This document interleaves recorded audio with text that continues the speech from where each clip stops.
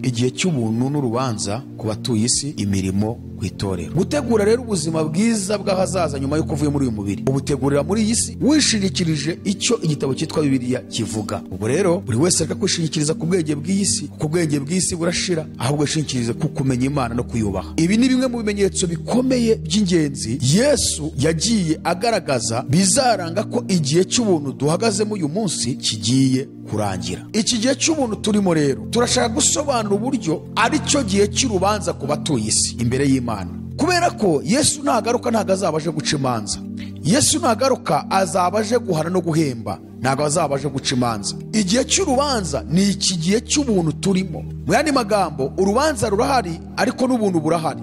Urubanza rurahari ariko n'imbabazi zirahari. Iki ni cyo gihe abantu basabwa kwinjira mu rukiko kugira ngo bisobanure bahabwe imbabazi. Itorero nta rubanza ritegereje. Ahubwo itorero rya kirisito ritegereje gupimirwa iki? Imirimo. Abantu bose batuye isi bakaba barimo guhamagarirwa kwinjira kwitaba urukiko rw'ijuru kugira ngo bisobanure hanyuma baburanirwe kuko igihe kigiye gusohora urubanza rukabanziriza mu b'inzu y'imana ngo ariko se niba rubanziriza kuri twe iherezo ry'abatumvira ubutumwa bwiza bw'imana rizamera rite kandi niba biruhije ko abakiranutsi bakizwa utubaha imana n'umunyabyaha bazaba he? Nuko rero abababazwa nk'uko imana ibishaka nibabitse uwo murimyi wo kwizerwa ubugingo bwabo bagumye bakore neza. Abari mu isi yose rero abakomeye aboroheje abize abatarize abiyita ngo ni intiti z'abanyabwenge abami ibikomangoma abaperezida buri wese uzi ko yabyawe n'umuntu yabyawe n'umugore kugira ngo abashe kurokoka umujinya w'imana uzatera uzarimbura abatuye isi. Nuko ahubwo mwegereye umusozi wa siyoni n'ururembo rw'imana ihoraho ari rwo yerusalemu yo mu ijuru. Kandi mwegereye iteraniro ry'abamarayika batabarika n'itoro ry'abana b'imfura banditswe mu ijuru. Mwegereye n'imana umucamanza wa bose n'imyuka y'abakiranutsi batunganijwe rwose. Mwegereye na yesu umuhuza w'isezerano rishya. Mwegereye n'amaraso aminjagirwa. Hari amadini menshi ari hano muri iyi si atemera yesu. Afite abayoboke benshi. Hakaba n'ayandi abeshya ngo aremera yesu ariko akamubangikanya n'ibindi bigirwamana rimwe na rimwe akanamubangikanya n'abantu bapfuye. Nk'iri dini bibiliya yita ngo ni nyina w'abamaraya bose ari ryo dini ryitwa kiliziya gatolika. Ariko uyu bikira mariya ntabwo ari mariya nyina wa yesu ahubwo ni umudayimoni basenga bafashe bamwambika izina rya mariya bamugirikiraho n'akantu kitwa ngo ni ibikira cyangwa se ni umubikira kandi tuzi ko umubikira ni ukuvuga ngo bafashe mariya bamuhindura umugore w'imana ubwo imana niyo yamuteye inda ni umugore wayo bari no kumwe mu ijuru baricaranye. Ntabwo mujya mwumva indirimbo baririmba ngo mwamikazi w'isi n'ijuru ngo turakwambaza mubyeyi. Ayo ni amarorerwa ni amahano akomeye ni umwuka wa kidayimoni wa satani ukomeje gufata abayoboke b'iri dini. Umujinya w'imana ukaba ugiye kubisuka hejuru inzira ijyana abantu mu ijuru ntikiri imwe yabaye inzira zitagira ingano ku bantu bose bari muri kiliziya gatolika. Iki ni cyo gihe cyo kwisobanura imbere y'imana. Igihe yesu azaba agarutse nta bundi bwisobanuro ku batuye isi. Igihe imana yatanze cyo kugira ngo buri wese yinjire mu rukiko yisobanure kandi asabe imbabazi. Ni iki gihe cya gatandatu cy'umuntu turimo. Igihe rero kizaba kirangiye ko tubona ko ibimenyetso byose bigaragaza ko kigeze fayinari hari imana umucamanza mukuru. Hakaba yesu nka avoka. Hakaba ijambo ry'imana nk'umushinjacyaha. Hakaba umwuka wera nk'umugenzacyaha. Hakaba umuntu nawe urimo uraregwa. Hakaba n'umurezi uri kumurega ari we satani. Kuko igihe cy'imbabazi kirarangiye igihe cy'imbabazi kirarangiye. Igihe imana yatanze hari ibimenyetso byose bigaragaza ko kirangiye. Yesu ugiye kugaruka. Ntabwo azagaruka aje gucira abantu urubanza ahubwo azagaruka aje guhana aje no guhemba.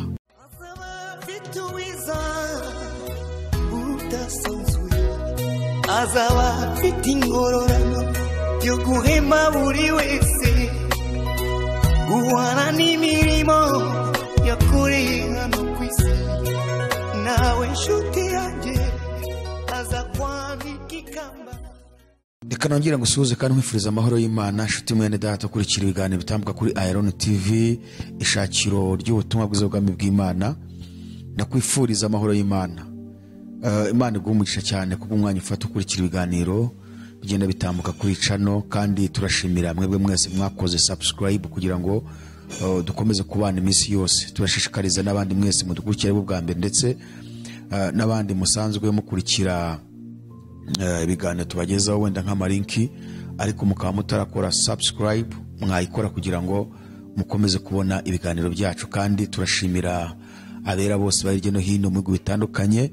Bagenda batwandikira badushimira yuko mu by'ukuri hari ahantu hari intambwe bamaze gutera mu birebana n'agakiza.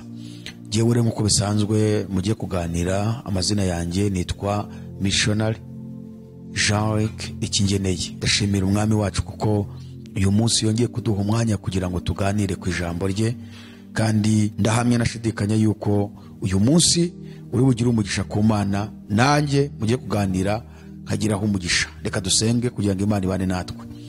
Mana turagushimiye kubw'uyu mwanya mwiza uduhaye. Uyu ni umwanya w'igiciro cyinshi kandi ni umwanya utwemere kugira ngo tuganire na bene data bose hirya no hino ku isi. Turasenze kugira ngo ubutumwa bugiye gutambuka ababwumvise nonaha bugire icyo bubamarira n'abandi bazabwumva mu gihe kizaza nabo buzagira icyo bubamarira.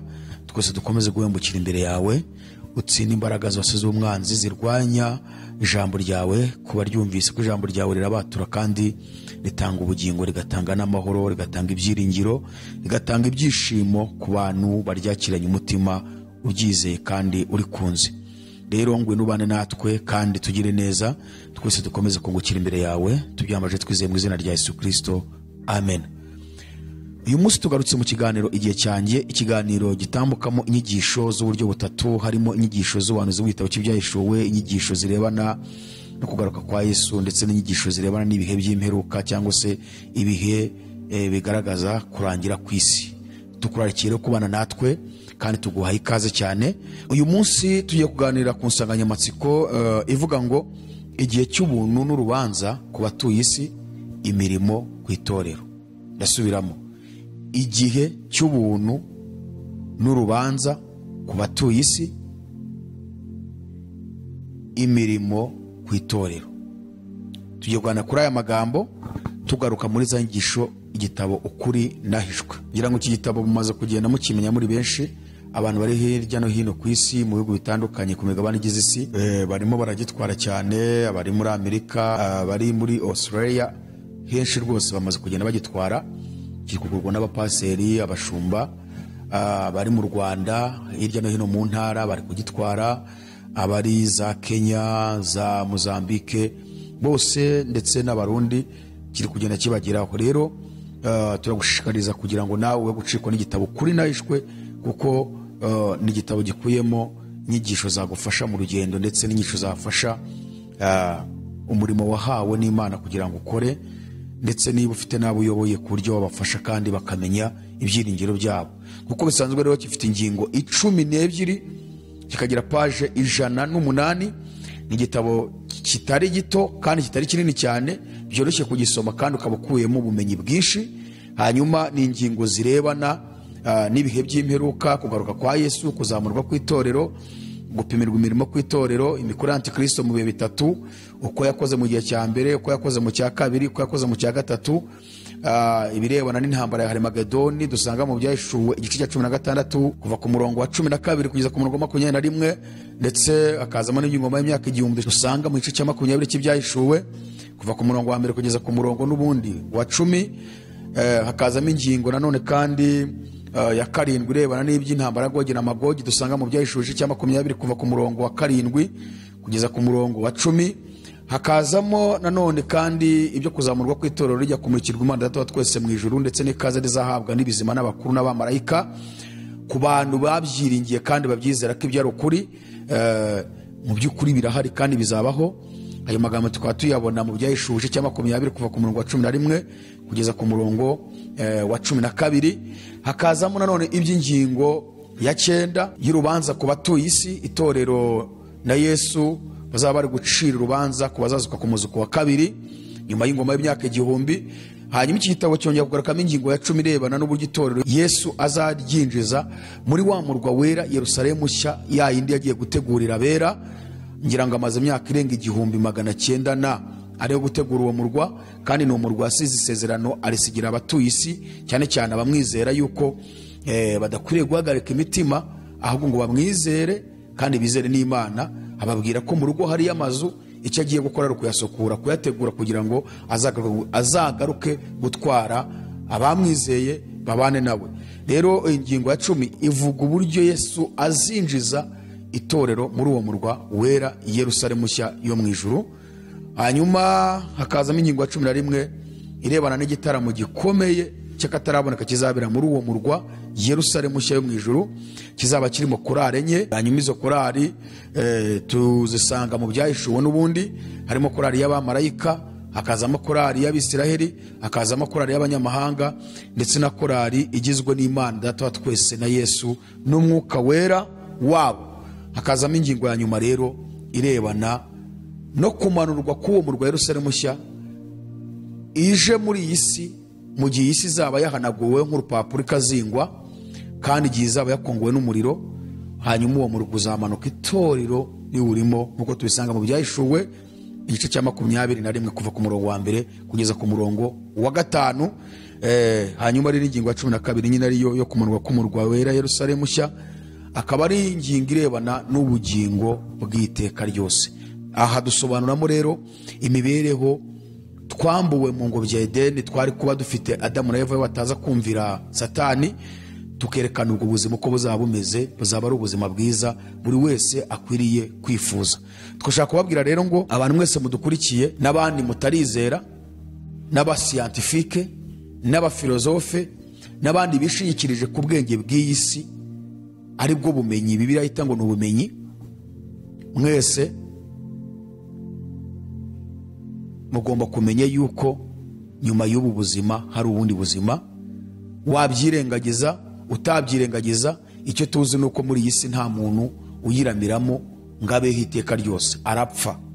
Mu gihe rero upfa ugomba guteganya ko nyuma y'uko upfuye hari ahandi ushobora kujya. Uko unajya kuza mu isi ntabwo wari wabiteguye ntuzi n'uburyo wahageze. Na situwasiyo uri guhura na zo muri iyi si ntabwo mbere y'uko uza mu isi wari uzi ko uzahura na zo ko nta n'uwamenya aho wari uri. Izi situwasiyo uhura na zo muri iyi si rero. Ushobora kuba uhura n'imibabaro ushobora guhura n'umunezero w'iby'umubiri ariko imibabaro yo mu isi ntigishira tuyihoramo igenda isimburana n'indi. Ushobora kuba ufite amafaranga ariko ugahangayikishwa n'uko ushobora kuba ufite ubwoba ko baya- bayakwiciraho. Ushobora kuba ufite amafaranga ugahora urwaragura indwara zidakira. Ushobora kuba ntayo ufite ariko ukaba ubabazwa nuko utafite. Muri iyi si harimo imibabaro myinshi. Iyi situation dutambukamo muri iyi si. Eh, nta muntu wigeze ateganya ko yayitambukamo kuko mbere y'uko aza mu isi nta nubwo yari azi ko azabaho. Nta n'uwamenya aho yari ari. Ugomba no kumenya ko nyuma y'uko uvuye muri iyi si ahandi uzajya ho hameze hati. Hari igitabo cyitwa bibiliya kigenda kigaragaza ishusho y'aho tuzajya. Kandi aho hantu ni habiri. Hari, aheza hakaba n'ahabi. Ntabwo rero ukwiriye kwirengagiza iby'aya magambo avugwa mu gitabo cyitwa bibiliya. Kubera ko n'ubundi uza muri iyi si ntabwo ari wabiteguye. N'ibyo uri gucamo muri iyi si ntabwo wari uzi ko uzabicamo. Ni nako n'ubundi nukurwa mu mubiri. Hari ahandi uzisanga. Kandi aho hantu hashobora kuzaba ari heza cyangwa ari habi. Gutegura rero ubuzima bwiza bw'ahazaza nyuma y'uko uvuye muri uyu mubiri. Ubutegurira muri iyi si wishingikirije icyo igitabo cyitwa bibiliya kivuga. Ubwo rero buri wese areka kwishingikiriza ku bwenge bw'iyi si kuko ubwenge bw'iyi si burashira. Ahubwo yishingikirize ku kumenya imana no kuyubaha. Ngira ngo twari tumaze iminsi turi gusobanura ibirebana n'urusengero insengero eshanu zabayeho ku isi kuva isi yabaho kugeza uyu munsi. Twagaragaje insengero zabayeho kuva isi yabaho kugeza uyu munsi ari insengero eshanu dusoza twerekana ko urusengero rwa nyuma ari urusengero rugendanwa ari rwowe nanjye. Nk'uko bibiliya yabitweretse nyuma yaho rero twerekana n'ibirebana n'amateraniro abantu uburyo bakwiriye guterana. Noneho rero uyu munsi tugarutse ku gitabo ukuri nahishwe muri za ngingo zacyo cumi n'ebyiri ngira ngo ubwo duheruka twari tugeze ku ngingo ya kabiri dusa nkaho tuyisoza irebana n'imikorere ya antikristo mu bihe bitatu. Uyu munsi rero tugarutse gutangira ingingo ya gatatu irebana no gupimirwa imirimo ku itorero kuri ingingo ya gatatu rero twavuze ko tugiye kuganira ku nsanganyamatsiko ivuga ngo igihe cy'ubuntu urubanza ku batuye isi n'imirimo ku itorero ibyo tugiye kwiga ah, twashaka kubwira rero abadukurikiye ngo reka tubwire abantu bose bari hirya no hino mu bihugu bitandukanye ku isi bamaze kwizera yesu kirisito ngo buri wese agerageze kwibikaho imirimo myiza. Kuko imirimo ni ikintu gikomeye turashaka kwiga ikintu cyitwa gupimirwa imirimo ku itorero. Iki gihe cyo gupimirwa imirimo ku itorero kizaba ryari? Ngira ngo murabizi ko turi kwiga ibintu bitandatu imana yagaragaje mu ijambo ryayo bigomba gusohora mu gihe kingana n'icyumweru kimwe gihwanye n'imyaka irindwi nk'uko twabisomye muri daniyeli igice cya cyenda umurongo makumyabiri na karindwi. Iki cyumweru kimwe twabonye ko kigizwe n'imyaka irindwi. Kuko imana yagiye ifata umunsi ikawuhwanya n'umwaka. Niba rero icyumweru kimwe kigizwe n'iminsi irindwi noneho rero ko imana yagiye ifata umunsi ikawuhanya n'umwaka ubwo icyumweru kimwe kigizwe n'imyaka irindwi. Iyi myaka irindwi twayikuye mu byumweru mirongo irindwi daniyeli yeretswe muri kiriya gice cya cyenda kuva ku murongo makumyabiri. Imyaka irindwi rero marayika gaburiyeli ayibwira daniyeli yayigabanyijemo ibyiciro bibiri agaragaza buri cyiciro ibizagenda bigikorwamo. Twabonye ko icyiciro cya mbere ikintu cyagomba gukorwamo icya mbere ari ukuzamurwa kw'itorero. Icya kabiri ni imikorere ya antikirisito mu bihe bitatu. Icya gatatu ni ugupimirwa imirimo ku itorero. Ni ukuvuga ngo rero niba tugiye ku ngingo ya gatatu irebana no gupimirwa imirimo ku itorero iyo ngingo iraza ubuhanuzi bwayo busohorera mu cyiciro cya mbere gihwanye n'imyaka itatu n'igice ya mbere nk'uko twabibonye. Ubwo rero turacyari mu myaka itatu n'igice ya mbere ibanziriza imyaka itatu n'igice ya nyuma ya kiriya cyumweru kigizwe n'imyaka irindwi. Mbere y'uko twinjira ku birebana no gupimirwa imirimo ku itorero tugiye guhera kuri iki kintu cyitwa ubuntu n'urubanza ku batuye isi. Abo twatangiranye twagiye twiga inyigisho nyinshi aho twabonye ko isi yagenewe ibihe birindwi. Hanyuma tukaba turi mu gihe cya gatandatu. Ibyo bihe birindwi twabonye ari ibihe. Twabonye ko igihe cya mbere ari igihe cy'iremwa ry'isi cyangwa se igihe cy'iremwa igihe cya kabiri akaba ari igihe cy'ubuziranenge. Igihe cya gatatu akaba ari igihe cy'ubutegetsi bw'abantu. Igihe cya kane akaba ari igihe cy'amasezerano. Igihe cya gatanu akaba ari igihe cy'amategeko. Igihe cya gatandatu akaba ari igihe cy'ubuntu. Igihe cya karindwi akaba ari igihe cy'ingoma. Y'umwami w'amahoro ari we yesu kirisito uyu munsi rero duhagaze mu gihe cya gatandatu ari cyo gihe cy'ubuntu. Iki gihe cy'ubuntu gitangira ryari cyangwa cyatangiye ryari? Gitangirana no gupfa no kuzuka kwa yesu kirisito no gusubira mu ijuru kwe ndetse n'ubutumwa buri kubwirizwa amahanga. Ubwo ni ukuva muri mirongo itatu na gatatu yesu amaze gupfa no kuzuka asubiye hehe mu ijuru atumye intumwa ze ngo zigende zihindure abantu mu mahanga yose ari mu isi. Kuva icyo gihe kugeza n'uyu munsi turacyari muri iki gihe cy'ubuntu. Iki gihe cy'ubuntu yesu ntabwo yigeze avuga igihe kizarangirira. Icyakora yatanze ibimenyetso byinshi bizaranga ko kigeze ku ndunduro. Ibyo bimenyetso twarabiganiriye aho twabatoranirije ibimenyetso bigeze kuri birindwi by'ingenzi yesu yagaragaje aravuga ngo nimubibona icyo gihe muzararame buri wese yubure umutwe we arebe mu ijuru kuko gucungurwa kwe kuzaba kwenda gusohora ibyo bimenyetso birindwi na byo twarabivuze aho twabonye ko icya mbere ari abigisha b'ibinyoma n'abahanuzi b'ibinyoma icya kabiri ni intambara n'imuha z'intambara icya gatatu ni inzara icya kane imitingito icya gatanu ibyorezo by'indwara icya gatandatu urukundo ruzakonja. Icya karindwi abantu bimure imana hanyuma yesu abone kugaruka. Ibi twarabyize ibi ni bimwe mu bimenyetso bikomeye by'ingenzi yesu yagiye agaragaza bizaranga ko igihe cy'ubuntu duhagazemo uyu munsi kigiye kurangira. Ibyo ni byo byuzuye mu isi. Imiryango y'ikiremwamuntu yiyemeje gukora satani. Irategura intambara buri munsi. Irategura indwara z'ibyorezo. Irategura inkingo zo kwica abantu. Ibyo byose yesu yarabihana avuga ngo nimubibona muzamenye yuko ngiye kugaruka. Ibi rero twarabibonye. Iki akaba ari igihe cy'ubuntu turimo. Iki gihe cy'ubuntu turimo rero. Turashaka gusobanura uburyo ari cyo gihe cy'urubanza ku batuye isi. Imbere y'imana. Kubera ko yesu nagaruka ntabwo azaba aje guca imanza. Yesu nagaruka azaba aje guhana no guhemba ntabwo azaba aje guca imanza. Igihe cy'urubanza ni iki gihe cy'ubuntu turimo? Mu yandi magambo urubanza rurahari ariko n'ubuntu burahari. Urubanza rurahari ariko n'imbabazi zirahari. Ikindi iki ni cyo gihe abantu basabwa kwinjira mu rukiko kugira ngo bisobanure bahabwe imbabazi. Kubera iki? Kubera ko yesu yicaye ku ntebe y'imbabazi. Kugira ngo usobanure iki kintu ndabanza asobanure gatoya ku birebana na kote y'ubutabera ku butegetsi bw'isi. Kavuge gatoya ku kirebana n'ubutabera. Muri politike z'ibihugu harimo n'igice cy'ubutabera. Ubundi mu rukiko hagomba kuboneka ibi bintu bigeze kuri bitandatu. Igihe abantu bari mu rukiko. Icya mbere hari umurezi. Icya kabiri hari uregwa. Icya gatatu hakaba umugenzacyaha. Icya kane hakaba umushinjacyaha. Icya gatanu hakaba avoka. Icya gatandatu hakaba umucamanza.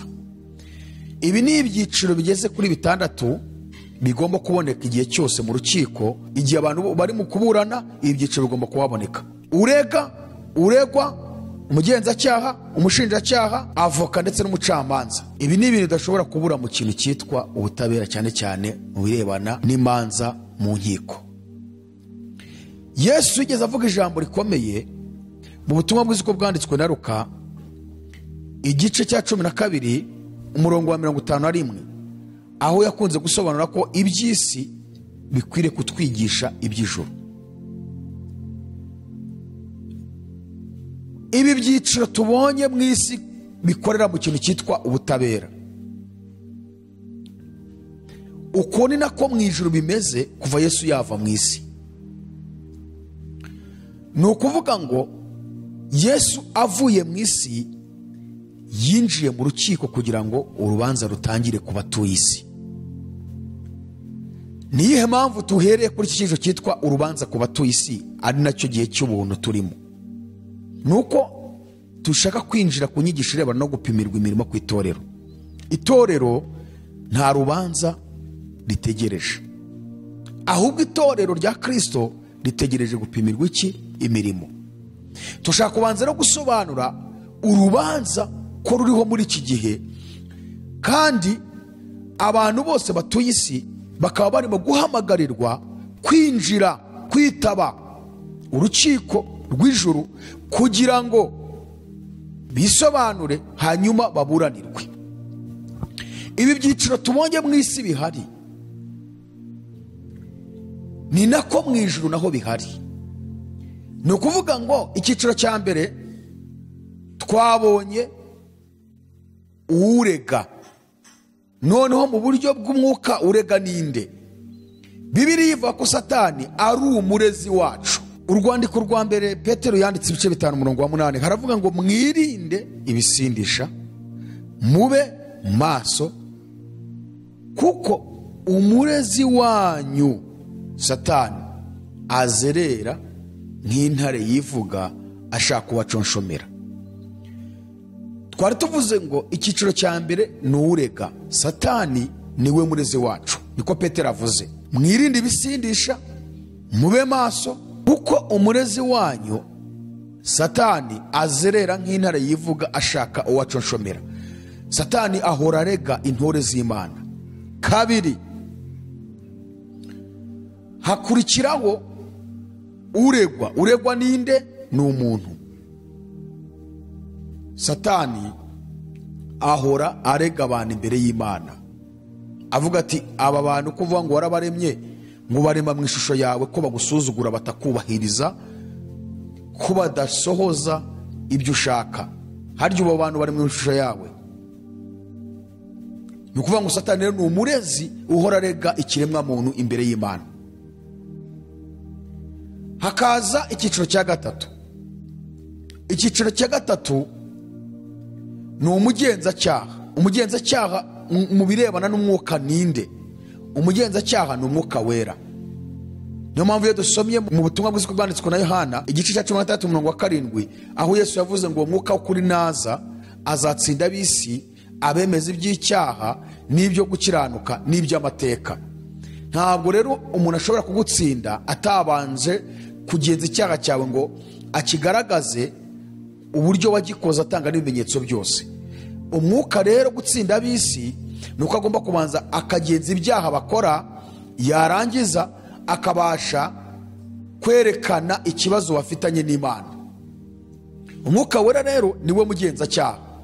Kane hakurikiraho umushinjacyaha. Umushinjacyaha ni iki? Mu birebana n'umwuka. Umushinjacyaha ni ijambo ry'imana. Ijambo ry'imana rihora ridushinja yuko twese turi abanyabyaha kandi rikerekana ko gukira kwacu ari uko twizera uw'imana yatumye ari we yesu kirisito iyo rero tutumva ijambo ry'imana ubutumwa bwiza buramamazwa ku isi yose ku maradiyo kuri social media ku mateleviziyo kuri za facebook kuri za twitter kuri za instagram ahantu hose ubutumwa buratambuka. Kandi ni ubutumwa buburira abatuye isi yuko bashinjwa ko ari abanyabyaha. Ubwo butumwa rero ababuvuga baba babukura hehe abantu bari mu muhamagaro imana yahamagaye baba babukura muri iki gitabo. Iki gitabo kiba kiri guhamiriza abari mu isi bose ko ari abanyabyaha. Kubera iki? Umuntu wese witwa ko ari mwene adamu kuko nta muntu n'umwe uri isi atavuga kuri adamu. Afite icyaha cy'inkomoko yo muri adamu. Icyaha adamu yakoze ubwo yasuzuguraga agateshwa ku nshingano imana yari yamuhaye muri edeni. Icyaha yakoze cyatumye atandukanwa n'imana agapfa urupfu rw'iteka kugeza ubwo imana yohereje umwana wayo kugira ngo aze kongera gucungura umuntu. Umuntu wese rero ukomoka muri adamu agomba kumenya ko ari umunyabyaha afitanye ikibazo n'imana. Ku bw'iyo mpamvu arasabwa kugira ngo yiyunge n'imana. Kwiyunga n'imana bizakomoka he? Kwiyunga n'imana bizakomoka mu kwizera urupfu no kuzuka by'umwami wacu yesu kirisito icyo cyonyine ni cyo kizatuma umuntu yongera kuba inshuti y'imana. Kugira ngo umuntu akire icyaha cye ni uko yemera kumva icyo ijambo ry'imana rimushinja akinjira mu rukiko.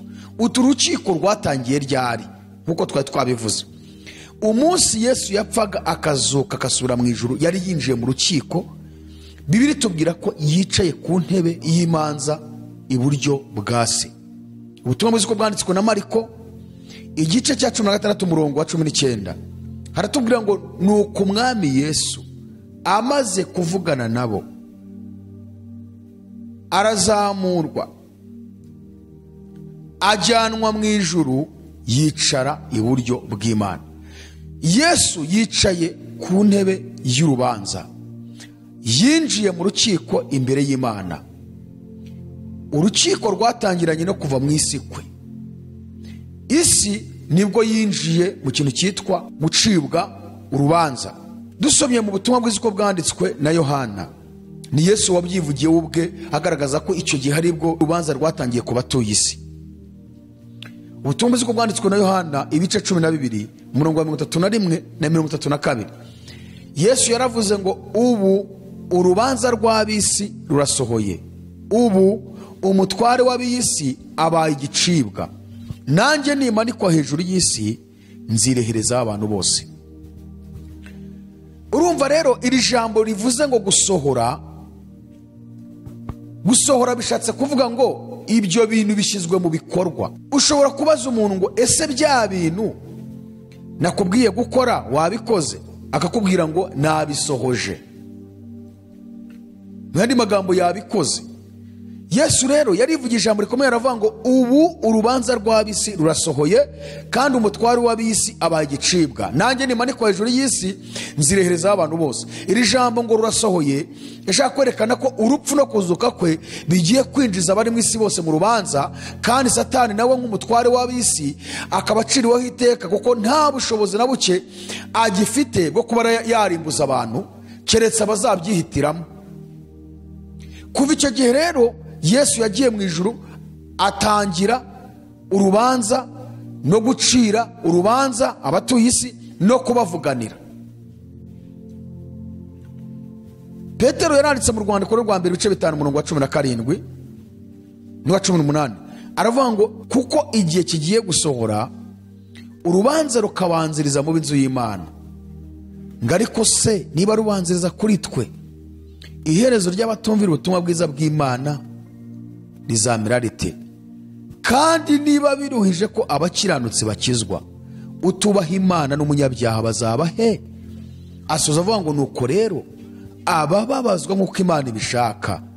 Nibabitse uwo murimyi wo kwizerwa ubugingo bwabo bagumye bakore neza.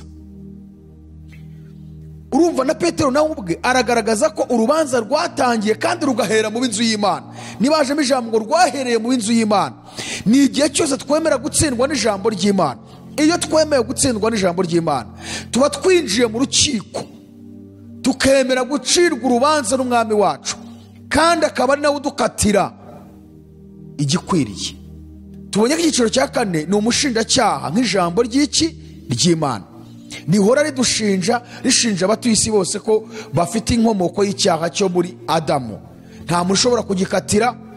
Byanga byakunda kugira ngo tukirokoke ni uko tugomba kwizera yesu kuko paul yandikiye abakono mu rwandiko rwa mbere ibice cumi na bitanu umurongo wa mirongo ine na gatanu aho yavuze ko adamu wa mbere yabaye ubugingo buzima naho adamu wa nyuma agatanga umwuka akaba umwuka utanga ubugingo. Adamu wa nyuma rero ni yesu. Kugira ngo rero turokoke urubori rw'icyaha cyo muri adamu wa mbere wa- wahindutse ubugingo buzima ni uko twizera adamu wa nyuma ari we mwuka utanga ubugingo akaba ari we yesu kirisito kumwizera tuba dukuweho urubanza rw'icyaha cyo muri adamu wa mbere wahindutse ubugingo buzima. Abari mu isi yose rero buri wese abakomeye aboroheje abize abatarize ngo ni intiti z'abanyabwenge abami ibikomangoma abaperezida buri wese uzi ko yabyawe n'umuntu yabyawe n'umugore kugira ngo abashe kurokoka umujinya w'imana uzatera uzarimbura abatuye isi. Ni uko yizera uw'imana yatumye ari we yesu kirisito waje muri iyi si akaba ari we adamu wa nyuma akaba umwuka utanga iki? Ubugingo. Icyiciro cya gatanu kiboneka mu rukiko rw'ijuru. Ni avoka. Avoka ninde? Ni yesu. Yesu ubu ni avoka yarazamutse yicaye iburyo bw'imana akaba ari avoka utuvuganira ahora adusabira imbere y'imana. Niwe wenyine udusabira. Igihe cyose dukosheje igihe cyose tuguye mu byaha. Yavuze yuko icyamuzanye mu isi si ugucira abantu ho iteka. Ahubwo icyamuzanye mu isi ni ukugira ngo azamwizera bose azabaho ubugingo. Rero yagiye mu ijuru yicara iburyo bw'imana nk'avoka ahora atuvuganira ubwo ni ukuvuga ngo kuva icyo gihe muri iki gihe cya gatandatu cy- cyagenewe isi cy'ubuntu kimaze imyaka irenga ibihumbi bibiri yesu ari mu rukiko nka avoka ahora atuvuganira avuganira abantu bose bamwizera adusabira imbabazi. Hakaza noneho umucamanza. Mukuru ariyo mana. Twavuze ko hari ibyiciro bigeze kuri bitandatu. Hari urega ari we satani nk'uko tubonye mu ijambo ry'imana. Hakaza uregwa ari we muntu. Hakaza umugenzacyaha ari we mwuka wera. Hakaza umushinjacyaha ari ryo jambo ry'imana. Hakaza avoka ari we yesu kirisito hakaza umucamanza mukuru ariyo mana. Mu rwandiko rwandikiwe abaheburayo igice cya cumi na kabiri umurongo wa makumyabiri na kabiri. Tugeze ku murongo wa makumyabiri na kane. Haratubwira ngo ahubwo mwegereye umusozi wa siyoni n'ururembo rw'imana ihoraho ari rwo yerusalemu yo mu ijuru. Kandi mwegereye iteraniro ry'abamarayika batabarika n'itoro ry'abana b'imfura banditswe mu ijuru. Mwegereye n'imana umucamanza wa bose n'imyuka y'abakiranutsi batunganijwe rwose. Mwegereye na yesu umuhuza w'isezerano rishya. Mwegereye n'amaraso aminjagirwa avuga ibyiza kurusha ayaberi ayo maraso ni aya yesu niyo yesu akoresha aminjagira ku byaha byacu kugira ngo adusabire ku mana imbabazi we nk'avoka uri kuvuganira abamwizeye. Ijambo nashakaga rero nirivuze ngo mwegereye n'imana umucamanza wa bose. Imana niyo ihagarariye cyangwa niyo mukuru muri runo rukiko rw'ijuru. Imana ni umucamanza mukuru. Satani ahora aturega imbere y'imana. Agaragaza uburyo imana aremye umuntu mu ishusho yayo none akaba ayigomera. Hanyuma umuntu nawe ahora aregwa iteka ryose. Icya gatatu umwuka wera ahora agenza ibyaha dukora. Icya kane ijambo ry'imana ryandikiwe abatuye isi rihora ridushinja ko turi abanyabyaha. Kandi ko abanyabyaha bose hari umujinya w'imana wagenwe uzabarimbura kandi bakarimburana n'umwanzi bakurikiye ari we satani n'abadayimoni. Ku bw'iyo mpamvu ijambo ry'imana rigahora rigaragaza ko turi abanyabyaha kandi kurokoka uwo mujinya ari uko twizera uw'imana yatumye ari we yesu kirisito hakaza noneho na yesu nka avoka uri imbere y'imana uhora adusabira imbere y'imana hagasoza imana umucamanza mukuru ariyo irangiza ikonfirima iby'uru rubanza.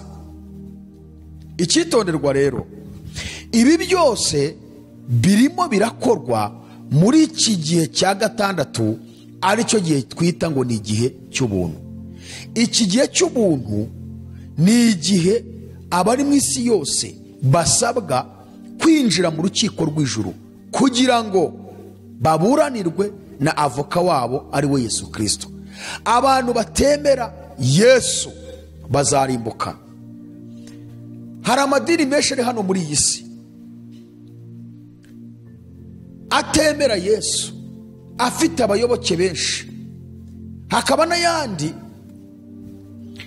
Abeshya ngo aremera yesu ariko akamubangikanya n'ibindi bigirwamana. Rimwe na rimwe akanamubangikanya n'abantu bapfuye. Urugero nk'iri dini bibiliya yita ngo ni nyina w'abamaraya bose ari ryo dini ryitwa kiliziya gatulika abantu bayayobotse iri dini abayoboke baryo kubera umwuka uririmo ukomeye cyane utabarekura. Basenga ibintu byinshi kandi bakagaragaza yuko ngo ba- biyambaza yesu. Icya mbere hari papa. Bemera nk'aho ari we nzira banyuraho ubageza kuri yesu. Ijambo papa avuze niba hari ivanjiri asomeye i vatikani iyo vanjiri niyo isomwa muri misa zose zibera ku isi yose. Ni ukuvuga ngo ntabwo bashobora gusoma ibindi bita- bitavuzwe na papa i vatikani abari mu isi bose binjiye cyangwa se abayoboke b'iri dini kiza gatolika nyina w'abamaraya bemera bada- badashidikanya ko papa ari nk'inzira bashobora kwifashisha bagera mu ijoro kuko yiyise ko ari igisonga cya kirisito yasimbuye petero intumwa ngo ni we guhagarara itorero hano mu isi.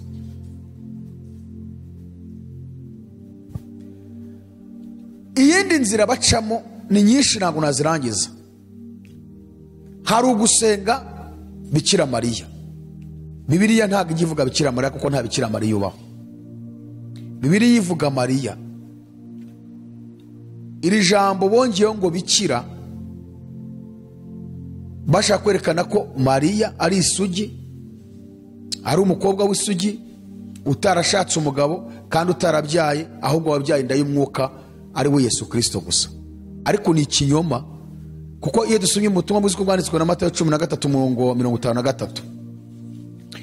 Hatwereka abahungu bane mariya yabyaranye n'umugabo witwa yosefu hakanatubwira abakobwa tutazi umubare babyaranye. Ariko kiliziya gatulika bafashe uyu mubyeyi mariya bamuhindura isugi bavuga ko atigeze ashaka umugabo bavuga ko atigeze abyara keretse yesu wenyine nk'inda y'umwuka yatewe. Ariko uyu bikira mariya ntabwo ari mariya nyina wa yesu ahubwo ni umudayimoni basenga bafashe bamwambika izina rya mariya bamugirikiraho n'akantu kitwa ngo ni ibikira cyangwa se ni umubikira. Kandi tuzi ko umubikira ni umukobwa w'isugi utemerewe gushaka kandi utanabyara birumvikana ko atashatse ntiyanabyara. Keretse nawe atwaye inda y'umwuka. Niyo mpamvu rero bafashe mariya bamwita ngo ni bikira mariya.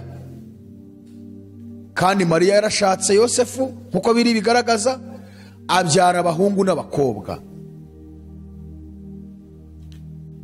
Ariko kiliziya gatolika yaramufashe imuhindura isugi irangije ibeshya ko yapfuye nawe akazuka akajya mu ijuru irangije ikora andi marorerwa imwita umugore w'imana ni umwamikazi w'isi n'ijuru kuko umuntu ahinduka umwamikazi kuko afite umugabo. Uwo mugabo akaba ari umwami. Ni ukuvuga ngo bafashe mariya bamuhindura umugore w'imana ubwo imana niyo yamuteye inda ni umugore wayo bari no kumwe mu ijuru baricaranye. Ntabwo mujya mwumva indirimbo baririmba ngo mwamikazi w'isi n'ijuru ngo turakwambaza mubyeyi. Mwamikazi w'isi n'ijuru turakwambaza mubyeyi. Duhakirwe mu byo dukora. Iyo ni indirimbo yabo bakunda kuririmba. Ayo ni amarorerwa ni amahano akomeye ni umwuka wa kidayimoni wa satani ukomeje gufata abayoboke b'iri dini umujinya w'imana ukaba ugiye kubisuka hejuru kuko banze kumva ubutumwa bwiza bw'ami bw'imana burimo buramamazwa ku isi yose bugaragaza ikinyoma kiliziya gatulika y'i roma yazanye aho bafashe umuntu wabyaye akabyara yesu akabyara abandi bana agashaka umugabo bakabeshya ngo yarapfuye arazuka bakabeshya ngo yagiye mu ijuru bakabeshya ngo ni isugi ntiyigeze abyara nta n'umugabo yashatse. Bakongera bakamwita n'umugore w'imana. Imana ntabwo irongora imana nishaka umugore nta mugore igira kuko ijambo ryayo ntiribitubwira. Ariko bamwise umwamikazi w'isi n'ijuru. Noneho ubuyobe bundi rero abayoboke barimo babahaye ni uko bamwiyambaza. Ngo abashyikirize cyangwa se abageze kuri yesu. Mariya yarapfuye. Nawe azazuka ku muzuko nk'uko abandi bose bazuka. Yaguye muri egiputa. Tuyi kubategura amateka tuzaza tuzabibereka. Mariya yaguye muri egiputa yarapfuye ntarazuka azazukana n'abera bose igihe bazazuka. Ariko uyu mwuka kiliziya gaturika yarawufashe iwuzengurutsa mu isi yose abakomeye abaperezida abami ibikomangoma abantu bakomeye bize ubwenge bw'isi bari muri iri dini bakiriye ibi bintu by'ibinyoma birengagiza igitabo cyitwa bibiliya bakurikira iby'abantu. Ikindi basenga ni uko basenga abantu bapfuye abatagatifu. Abatagatifu. Ngo pahuro mutagatifu dusabire petero mutagatifu dusabire kanaka mutagatifu dusabire n'abandi bantu. Ba- hari abatagatifu bakomoka mu ntumwa hari n'abatagatifu bagenda bapfa muri iki gihe. Mu minsi mikeya na kizito bazaba bamugize umutagatifu. Nyerere ndibaza ko nawe ubanza yaramaze gushyirwa mu batagatifu ubwo nawe agiye kujya asengwa bamwiyambaza ngo abageze kuri yesu. Urumva mbega inzira ijyana abantu mu ijuru ntikiri imwe yabaye inzira zitagira ingano ku bantu bose bari muri kiliziya gatolika. Kandi yesu yaravuze ngo nijye nzira nuko n'ubugingo ntawe ujya kwa data ntamujyanye ubutumwa buzi ko bwanditswe na yohana cumi na kane umurongo gatandatu. Ariko abantu bose bari mu idini ya kiliziya gatolika bamaze kwiremera inzira nyinshi zo gucamo ngo zibageze mu ijuru. Kimwe n'abandi bantu bari mu madini atandukanye abantu benshi bafashe mu madini bayafata nk'inzira ibajyana mu ijuru. Inzira ni imwe ni ukwemera ijambo ry'imana ridushinja hanyuma tukemera n'icyo ritwereka cyadukiza. Igisobanuro cyitwa kwizera yesu kirisito iki gihe rero duhagazemo iki gihe cy'ubuntu turimo ni igihe abari mu isi yose bakwiye gutega amatwi bakumva ubutumwa bwiza bw'ubwami burimo kwamamazwa mu isi yose kugira ngo abantu bahunge umujinya w'imana uzatera niba badahunze bibiri igaragaza uburyo umuntu ari umunyabyaha ikagaragaza igishobora kumukiza ibyaha bye ikagaragaza umujinya w'imana uzarimbura satani n'abadayimoni ndetse n'abanyabyaha bose ikagaragaza n'umuntu ushobora gukiza ikiremwamuntu ari we yesu. Abantu rero ntibashaka kumva ubutumwa bwiza. Abantu ntabwo bashaka kwitaba urukiko rw'ijuru. Niyo mpamvu ubutumwa bubwirizwa abantu bakaba badakizwa ngo bihane. Reka tubwire abadukurikiye ntawe ukomeye n'umwe wo mu isi imbere y'imana. Ushaka uburiniti bimeze iti ushaka kuba warize ujya no mu kwezi no mu zuba. Niba utizeye yesu nk'umwami n'umukiza. Ntabwo uzigera ubona wowe wihishe umujinya w'imana uzatera iyi si ntabwo uzigera ubibona. Ntabwo uzahabona. Kuko umunsi umujinya w'imana waje wateye isi. Isi yose yaba ikirere iri sanzure tubona. Yaba uyu mubumbe dutuyeho n'indi mibumbe yose. Nta hantu uzabona wakwikinga. Dawidi yavuze ko aho hose imana ibayo.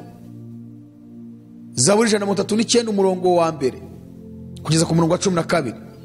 Kiravuze ngo uwiteka warandondoye uramenya. Uzi imyicarire yanjye n'imihagurukire yanjye. Umenyera kuri ibyo nibwira. Ujya urondora imiryamire yanjye n'imibyukire yanjye uzi inzira zanjye zose.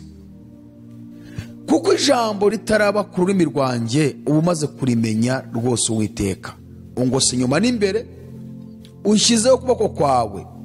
Kumenya ibikomeye bityo n'igitangaza kinanira. Kuransumba sibasha kukugeraho. Umurongo wa karindwi uravuga ngo ndahungira umwuka wawe he? Ndahungira mu maso hawe he? Nazamuka nkajya mu ijuru uriyo. Nasasa uburiri bwanjye kuzimu uriyo. Nakwenda amababa y'umuseke nkatura ku mpera y'inyanja aho naho ukuboko kwawe kwahanshorerera. Ukuboko kwawe kw'iburyo kwahamfatira nakwibwira ni ukuri umwijima niwo uri buntwikire umucyo ungose uhinduke ijoro n'umwijima nawo ntugira icyo uguhisha. Ahubwo ijoro riva nk'amanywa umwijima n'umucyo kuri wowe ni kimwe. Nta hantu imana itagera. Mu ijuru iriyo ikuzimu iriyo hirya y'inyanja iriyo mu mwijima irahari nta muntu n'umwe uzigera abona harokokera umujinya w'imana. Kurokoka umujinya w'imana gusa ni uko twinjira mu rukiko tukemera umushinja icyo dushinja ari we jambo ry'imana tukemera avoka akatuvuganira tugasaba imbabazi tukizera ko ashobora kutuvuganira imbere y'umucamanza mukuru ariyo mana. Imana na yo ikemera kubabarira ibyaha byacu kuko hari uwemeye gutanga incungu y'amaraso ye ari we mwana wayo w'ikinege kandi byaturutse byose mu rukundo rw'imana. Naho mu gihe abantu banze kumvira ubutumwa bwiza bw'ubwami bw'imana ngo bumve ko bafitanye urubanza rukomeye n'imana mu gihe batari bizera uw'imana yatumye ari we yesu urubanza rubariho kandi bazarimbuka. Turimo turigisha tugaragaza ko iki gihe cya gatandatu twicayemo kuva muri mirongo itatu na gatatu yesu avuye mu isi. Kugeza igihe azagarukira turi mu gihe cy'urubanza. Kandi muri urwo rubanza hakaba harimo n'ubuntu. Ubwo buntu tubuhabwa nande? Tubuhabwa n'imana kuko yatanze umwana wayo. Kugira ngo azadupfire hanyuma yinjire mu rukiko atuvuganire imbere y'imana. Abantu nabo batemera kumva ubutumwa bwiza ngo bizere yesu ari we nzira n'uku n'ubugingo. Abaca ku bindi bintu bari mu madini n'abandi bitwaje siyansi bakumva ko sayanse ari cyo yabamarira n'abandi bitwaje filozofi ndetse n'ubundi bumenyi bwose bw'isi ibyo byose ntabwo bishobora gukiza mwene muntu. Umuntu wese agomba kuzakizwa umujinya w'imana no kwizera yesu. Hari abantu bajya bavuga ngo nta mujinya imana igira. Imana igira umujinya se ntiwugira ahubwo urwandiko rwandikiwe abaroma pawulo yandikiye abaroma igice cya mbere umurongo wa cumi n'umunani. Yaravuze ngo umujinya w'imana uhishurwa uva mu ijuru. Ubyukirijwe ubugome no gukiranirwa. By'abantu bose bashikamiza ukuri gukiranirwa kwabo. Ukuri ni ukuhe? Ukuri ni yesu.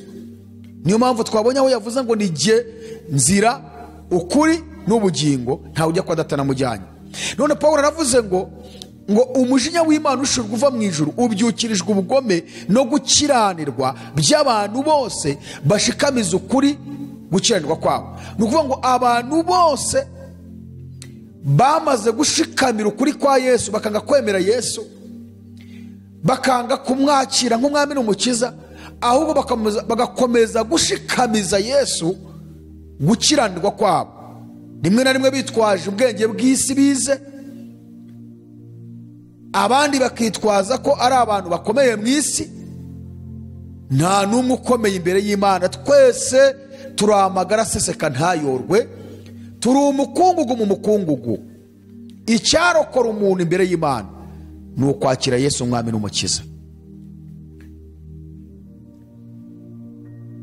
Pawulo rero avuga ati kubw'iyo mpamvu uyu mujinya w'imana ubyukirijwe ubugome no gukiranirwa by'abantu bose bashikamiza ukuri kw'imana gukiranirwa kwabo. Ngo kuko bigaragara ko bazi imana.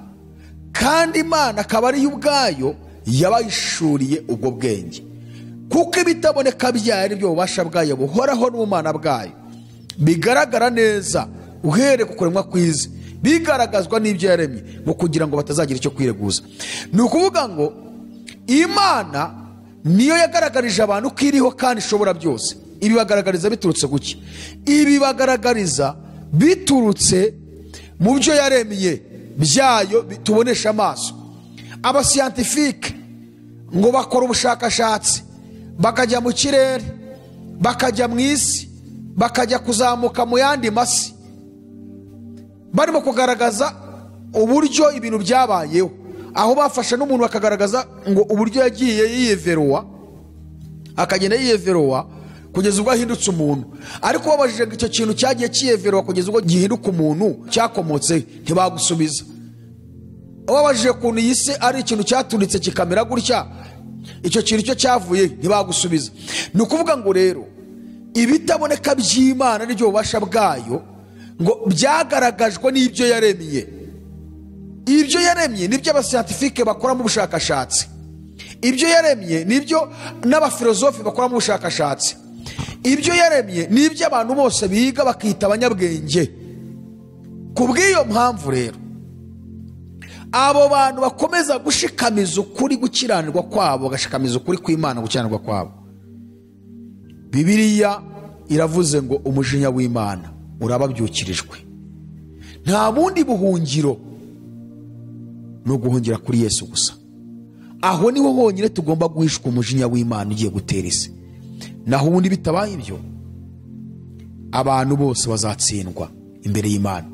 Rero iki gihe turimo iki gihe cya gatandatu ari cyo gihe cy'ubuntu ni cyo gihe imana yateguye itegura ubutabera bwayo itegura bino byiciro satani araturega buri munsi umuntu nawe ahora imbere y'imana agaragara nk'umuntu mubi cyane satani ahora amurega ariko kandi akaba umwuka wera ugenza ibyaha dukora niba koko ibyo satani arega ari ukuri hakaza ijambo ry'imana dushinja ko turi abanyabyaha.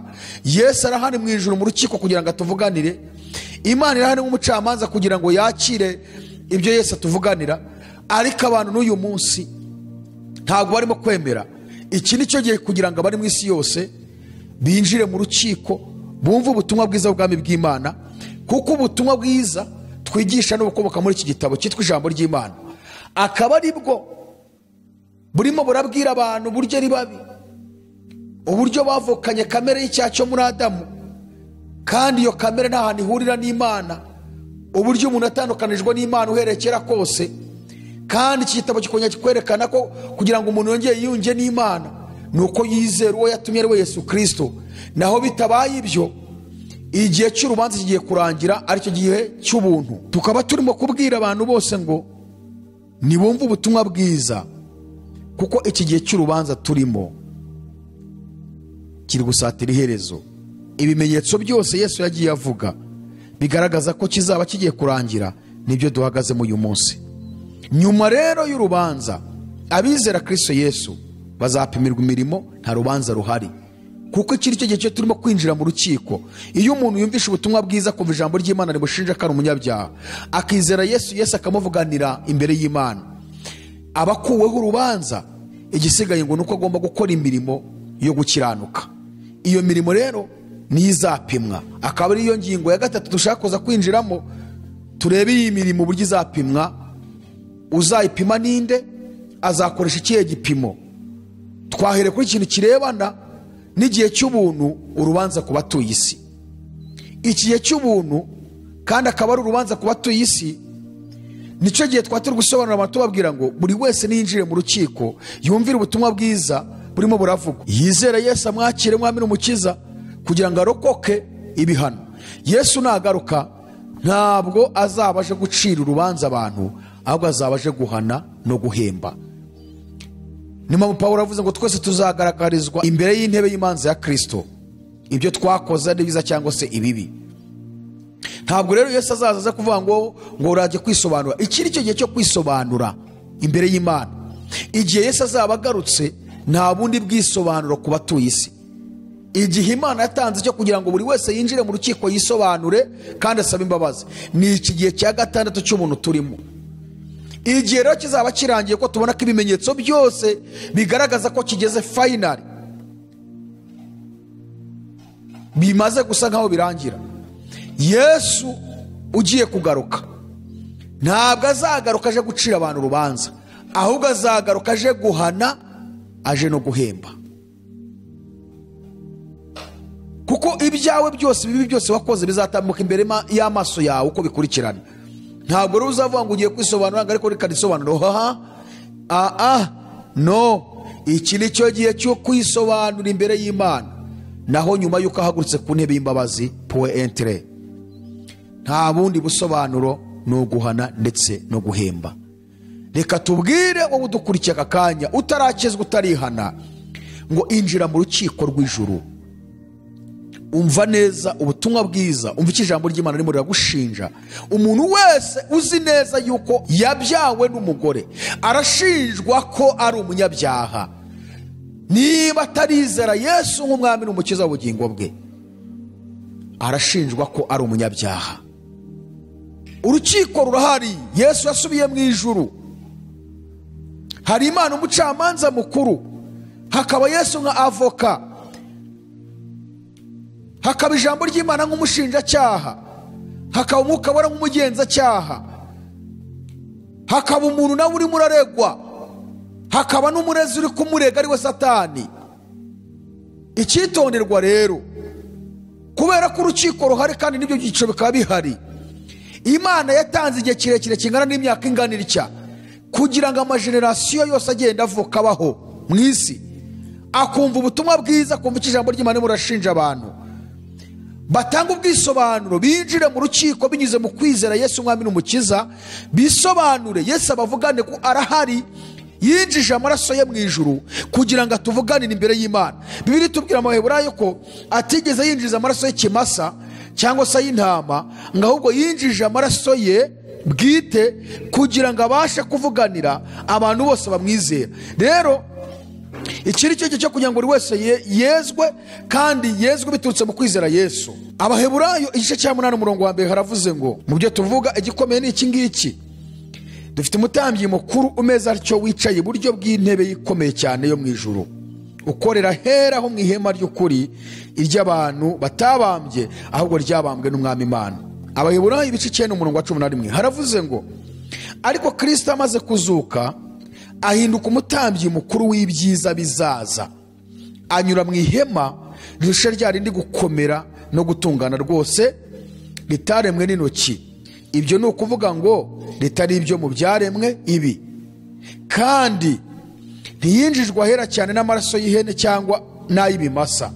Ahubwo yahinjijwe rimwe n'amaraso ye amaze kutubonera gucungurwa ku iteka. None ubwo amaraso y'ihene n'ay'amapfizi n'ivu ry'inka yiriza iyo biminjagiwe ku ko byeza umubiri ugahumanuka. Nkanswe amaraso yesu kirisito witambiye imana atagira inenge kubw'umwuka w'iteka.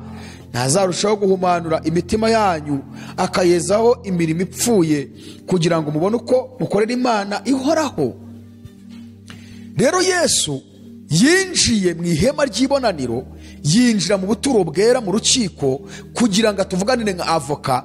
Kandi ngo ntiyinjijweyo n'amaraso y'i- y'ihene cyangwa amaraso y'intama cyangwa amaraso y'ibimasa cyangwa amaraso y'inka yiriza ngo ahubwo yinjijweyo n'amaraso ye gusa amaze kutubonera gucungurwa ku iteka ryose.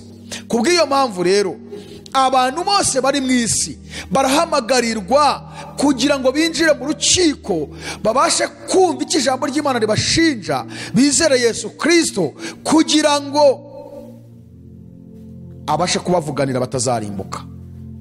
Kuko imana yateguye kuzarimbura satani n'abadayimoni ndetse n'iyi si yamanukiwe n'umwanzi nk'uko tubisanga mu byahishuwe ibice cumi na bibiri umurongo wa cumi na kabiri hatubwira ngo wajuriwe namwe abaribamo nimwishime. Naho wowe wasiwe nawe wanyanjawe.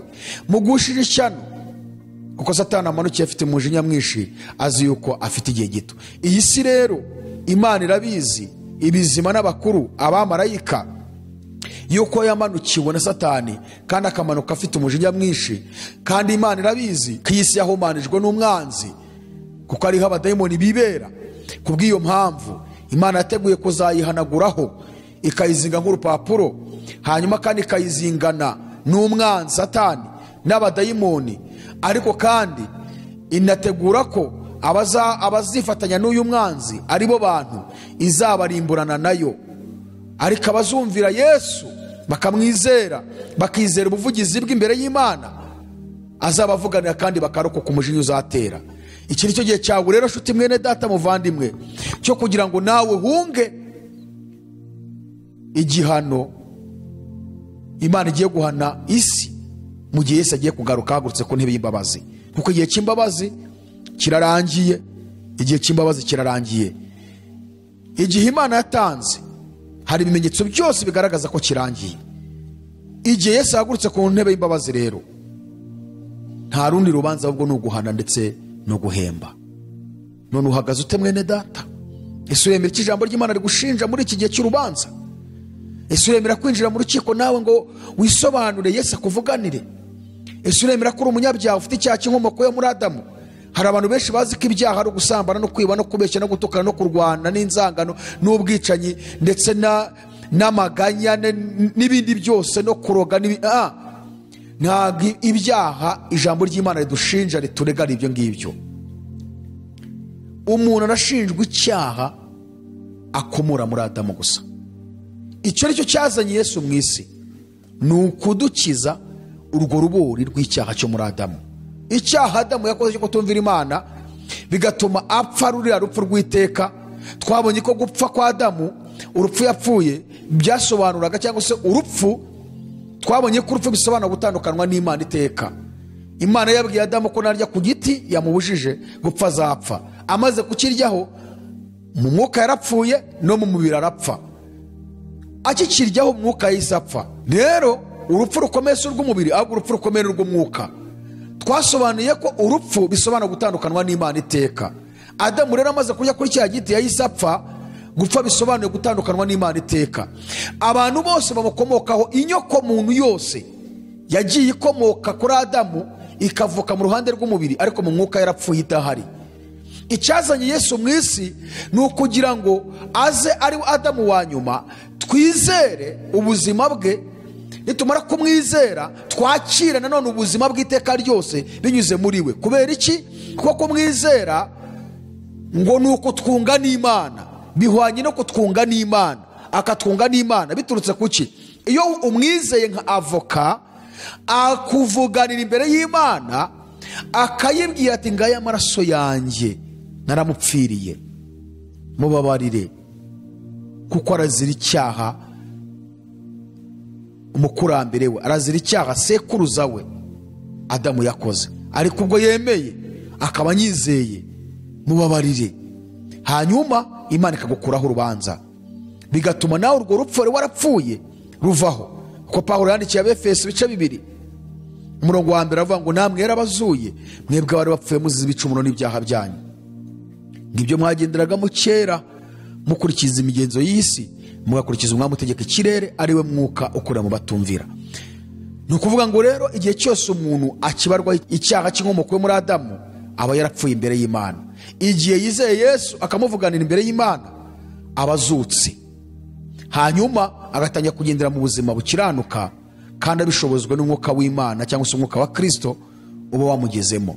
Reka dusenge hanyuma nababwira imana ngo mana uhereye uyu munsi nemeye kwinjira mu rukiko. Nemeye ko ijambo ry'imana rishinja ko ndi umunyabyaha kandi nemeye kwizera yesu kirisito nk'umwami n'umukiza kugira ngo amvuganire nk'avoka imbere y'umucamanza mukuru ari we data twese kuko satani ahora ndega buri munsi kandi nanjye ubwanjye ndi umunyabyaha. Reka dusengane imana. Nyakubahwa mubyeyi dukunda turagushimiye nanone kubw'uyu mwanya mwiza uduhaye tumaze kubona ko igihe duhagazemo ari cyo gihe cya gatandatu igihe cy'ubuntu ariko akaba ari igihe cy'urubanza ku batuye isi. Abantu bose barasabwa kwinjira mu rukiko rw'ijuru kugira ngo babashe gusabirwa imbabazi kandi bizere uwo watumye ari we yesu. Fasha uyu muntu wumvishe ubutumwa bwiza. Kugira ngo mana ibyo yumvise aka kanya umufashe kugira ngo yakire yesu.